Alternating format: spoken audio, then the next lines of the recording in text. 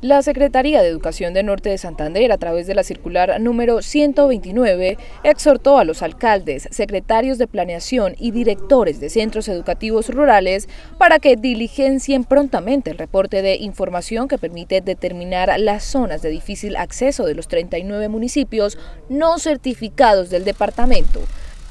para esto se debe diligenciar un formato para realizar el informe que puede descargarse de la página web www.setnortedesantander.gov.co y deberá diligenciarse uno por cada centro educativo. Esta información se convertirá en el insumo que permitirá la elaboración del decreto en el que se definirán las zonas de difícil acceso para la vigencia 2020. De esta manera, los docentes y directivos que laboran en las sedes priorizadas tendrán derecho a una bonificación especial. De conformidad con la ley, se deben considerar las siguientes situaciones para su definición. Que sea necesaria la utilización de dos o más medios de transporte para un desplazamiento hasta el perímetro urbano,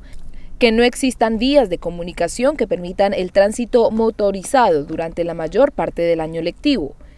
y que la prestación del servicio público de transporte terrestre, fluvial o marítimo tenga una sola frecuencia ida o vuelta al día.